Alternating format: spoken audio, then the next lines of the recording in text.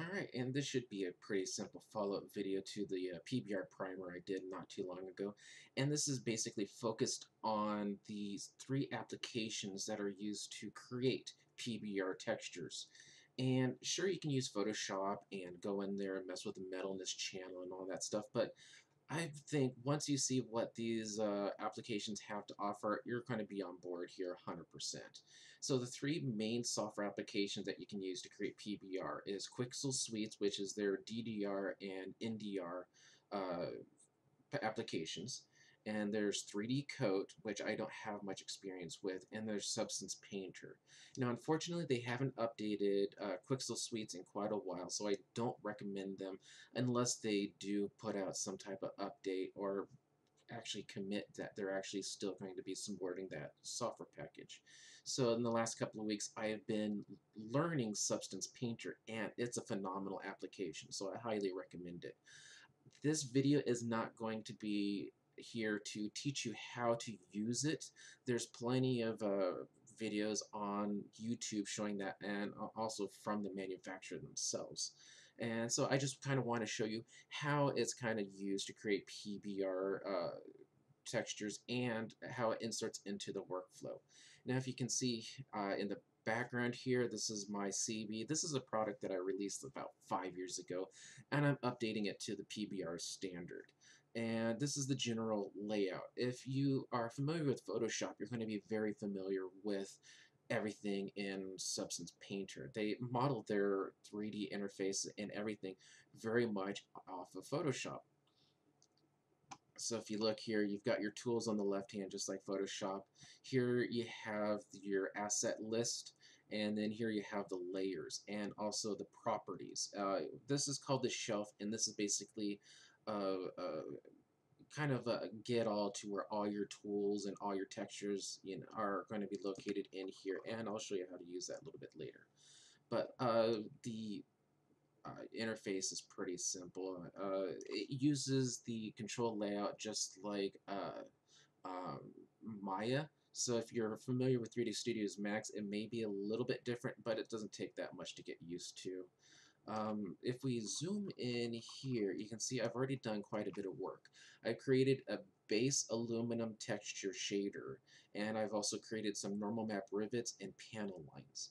Now, this shader, if you look here, you can see that in uh, the crevices and stuff, there's dirt, there's a lot of differences within the surface itself of the reflectivity uh, even some a little bit of a noise in here and it looks really good and this was actually a very simple shader to create once you get to know the basics and I'll go ahead and show you the little deconstruct the uh, material here for you now you can see here at the base layer uh, you can change the reflectiveness of it. The metallic, of course, is 100%, and here you can change how reflective it is right here.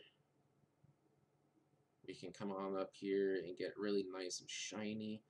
And then you can still see that there's all this other dirt still underneath this you know, base layer. And that is the layering system that I was talking about. That is very much like Photoshop. So everything above that base layer changes the look of things based on masking.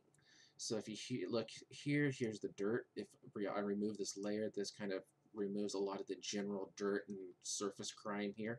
You can see it right here in the reflection if I turn this layer off. Uh, the next layer is the ambient occlusion dirt, which is going to be this dirt which is in the crevices. If I turn that off, you can see that that dirt uh, turns on and off. And that whole mask right here is controlled through this generator that looks at the curvatures, it looks at the ambient occlusion, it looks at a whole bunch of different factors and figures out where dirt should be. That right there should blow your mind. If it doesn't, I don't know what will. But this is basically going to dirty up the aircraft for you you don't have to sit here and go, okay, well, I need to paint a little bit of dirt here, I need to paint a little bit of dirt here. This is pretty much going to find out, find all those crevices that are going to be hard to clean and put dirt in there. And it's also going to affect, uh, if you want to, it'll affect the height map, it'll affect the uh, the uh, the reflection, it'll, ref uh, it'll affect the normal map, it'll affect as much as you want. Right here you can see it affects the uh, reflection level because a dirty surface is not going to reflect as much as a clean surface. So you can see right here that these surfaces that are occluded in the ambient occlusion are dirty. And if I go over here to the mask layer, you can actually see that in action right here. Uh, we can see some surface grunge here. If I take this off, you can see it. Again, all these channels add a little bit to creating the whole. And once you get all these channels set up and uh, a, a nice working, very complex material, then that whole thing can be used to create what's called a smart material. A smart material is a collection of these layers that interact with each other to create this whole thing. And uh, once you get a base aluminum, you create the smart material and you put it down here. Uh, and you can see I already created an aluminum based material. Another interesting thing you can do is you can see here that this aircraft is divided into three pieces. We got the body one, body two, and the wings. And what I can do is instance this material across the entire project. So I don't have to sit there and go into the body and change the material and then make the same materials in the wings and the body too. If I make changes to one of these instances, let's go to the uh, body, which is the original instance. If I make changes to, let's say I want to go into this dirt here, and I want to increase the level of dirt, which is right here. This is going to add a lot of dirt, so just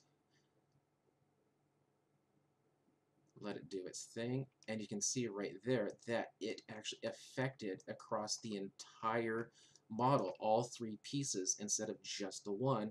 And so that is, again, saving you a lot of work. It may seem like a lot of work on the front end of creating this material and creating this smart material.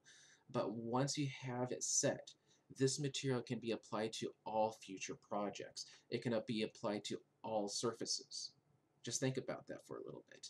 That's why I like working with tools like this, working procedurally, is that once you get something set and something you really like, you save that as a smart material and you can use it on later projects. You can even you know add to it once you learn the, the, the tools a little bit better. You can add detail to it.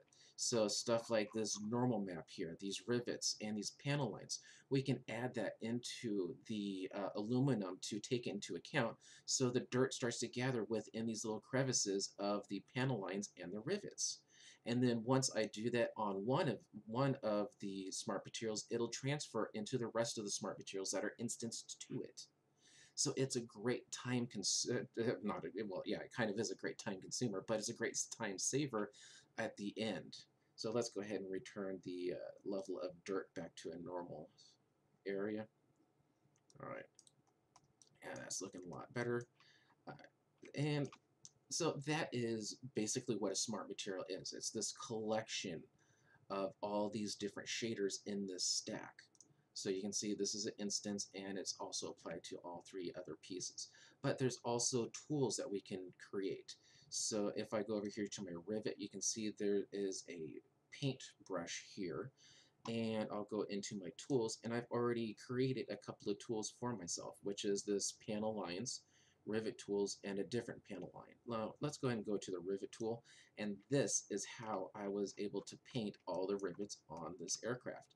As you can see that I have this tool already set up. It took me a couple hours to set up this tool, but once it's set up, I can use that on all future projects. And you can see right here, all I have to do is paint rivets. I mean, this is just mind-blowing. Uh, I can just do, like, click here once, hit shift, click over there, and I have a rivet line. It is, once everything is set up, it is so fast and so easy, and also future projects are going to be able to use this tool set.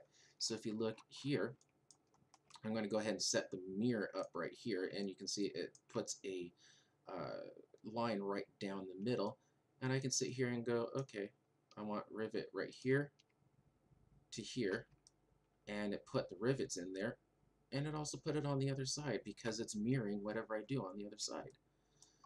This is an amazing time saver once you have everything set up. Let's put a line of rivets there and then look over there, it's already set.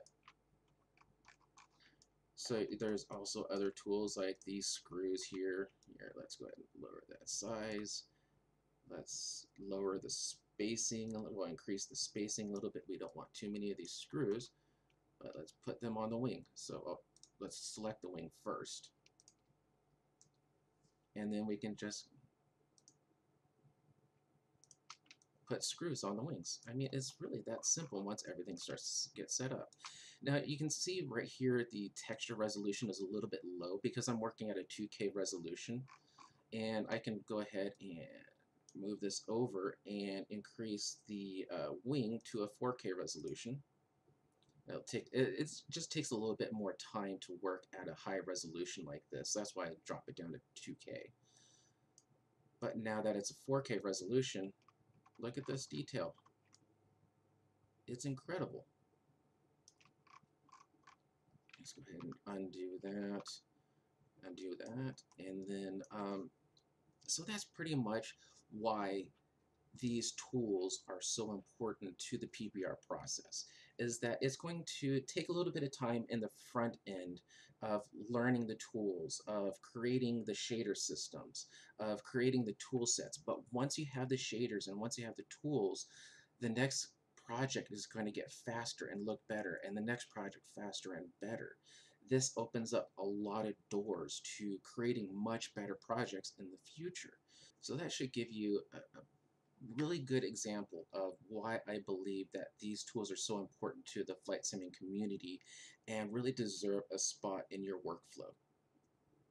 I'm really looking forward to what comes out of some of the talented members of the Flight Sim community with these great tools. If you need any for more information or if you want to see video tutorials on how to use these uh, applications, I'm going to go ahead and put some links in the description below and uh, have fun.